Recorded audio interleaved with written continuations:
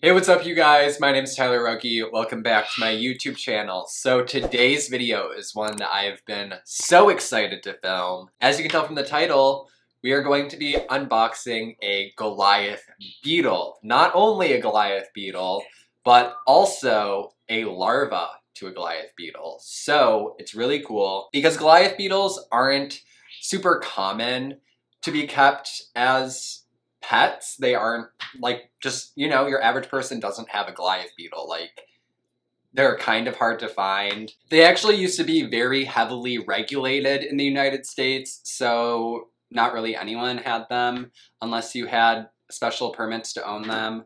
But luckily, now they can be kept by pretty much anyone as long as you can find someone to buy one from. Huge thanks goes to Peter Clausen from Bugs in Cyberspace. I'm going to link his website down below. An incredible website with a variety of different insects and invertebrates and such a cool variety as well. So if you're looking for any unusual bugs to keep or invertebrates or whatever, make sure to check out Bugs in Cyberspace. They provide a lot of insects and arachnids and whatnot to museums and zoos and like universities, classrooms, stuff like that. So I think that's really cool. A huge thing is educating people about these amazing creatures. So I really enjoy that. Also, their proceeds from the website goes to online insect communities and invertebrate organizations. So I also really love that as well. They were luckily kind enough to send me a Goliath beetle and also a larva that I am hoping to raise into a beetle and it'll be really cool to document kind of that process. And I'm just really excited for this. So again, I will link Bugs in Cyberspace down below.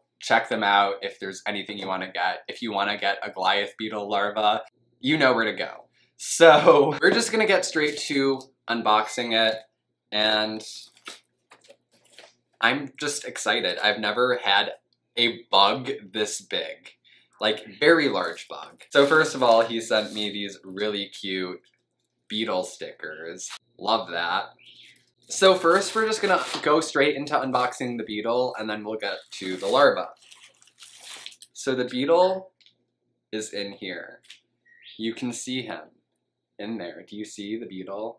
Hello friend. I'm so excited. Look how huge that is. That's crazy. The scientific name is Goliathus goliatus, so I also love that. Very easy to remember. And in case you were wondering, they are native to Africa. Unfortunately, you're not gonna find these here, but just imagine if you saw a Goliath beetle, like, in your home. That would be pretty cool. Hi. It's massive. That's insane. Oh, that is so cool. Check that out. Do you see that? Obviously you see it. I'm literally showing it to you. I'm like kind of nervous to hold it. I'm not gonna lie to you. I've never, I've just never like, I've never even seen anything like this in front of me before. So it's just really weird to think that this is alive and like real, like it exists.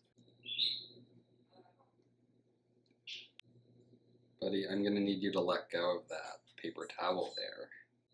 That is insane. Oh my god. Dude. So yeah, we are friends now. This is so cool. Would anyone else be this excited over a large beetle being shipped to them? Someone? Anyone out there? Am I the only one? So yeah, overall, like, I would recommend this. This has given me a lot of serotonin and it's only been a few minutes. I just have a large beetle on my back. And I don't think I have a problem with it. I think it's okay. In the wild, Goliath beetles typically feed on fruit as well as the sap from trees. In captivity, people often feed them bananas, so here is my beetle eating a banana. Isn't that the cutest thing you've seen in your entire life? Don't lie to me. I know it is. Also note that this footage is four times speed. This is normal speed.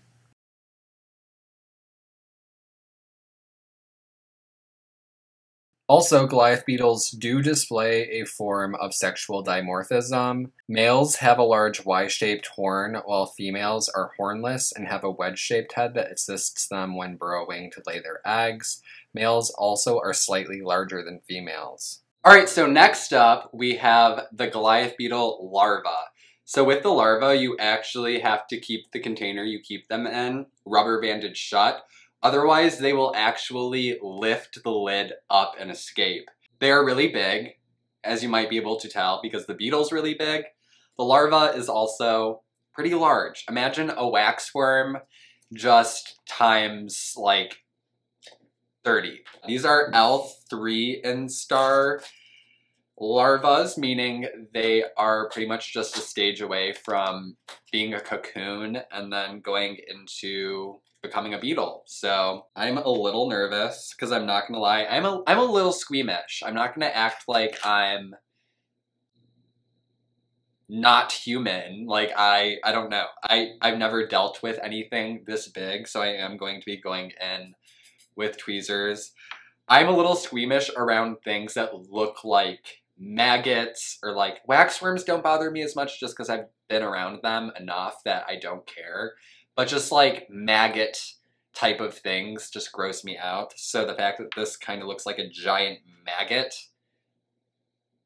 is kind of scary to me. Uh, I hate it. Ugh, I hate it. I hate it so much already. Yuck. Ugh. That's disgusting looking. Ugh, that's so gross. Oh my god. Ew, do you see how big that is? That's nasty. Uh-huh, do you see how big it is? Ew. That's... Ugh. Oh my god. Not gonna lie. I hate it. Alright, should I just face my fears and hold it in my bare hand? I think I'm gonna do it.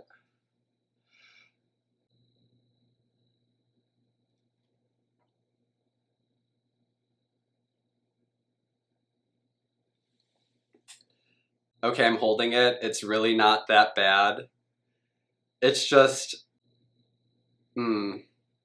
And, uh, just the way their bodies move is, like, unsettling to me. Like, just the way it, like, inches around. Ugh, it's, like, on its side, but it's moving still. I hate that. I just hate it. Ugh. I challenge one of you to grab one of these and just face your fears. Link down below to Bugs in Cyberspace. But really, oh my god. Ew, it's kind of cute. Well, uh, eh. No, it's not. Well, I mean, I know I think a lot of weird things are cute. But I don't think I can even, like, lie to you and tell you that I think this is cute. Nothing about it is really appealing, other than what it turns into is pretty cool. But, uh, ugh. I would almost rather touch, like, dog feces with my bare hands. You know what I'm saying? Like, almost. Not quite, but almost. It's not that bad. It really isn't. Just gonna put you back. So yeah, isn't it fun that we're just embarking on this journey together? We're gonna just take care of this larva and we're gonna turn it into a beetle. And we also have a beetle. Obviously, I'll make more videos with these guys, but if you wanna see like updates on them regularly, make sure to check out my other social medias. Thank you guys so much for watching today's video. I really appreciate it. Make sure to hit the subscribe button down below if you're new here, turn on notifications, check out my social media links. I will see you guys in my next video.